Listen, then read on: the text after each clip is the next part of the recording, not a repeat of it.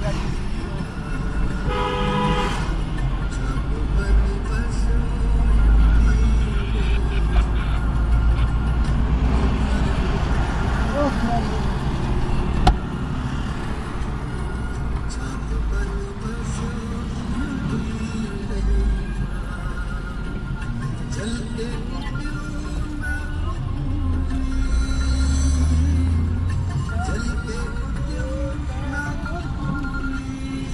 ở dưới đây.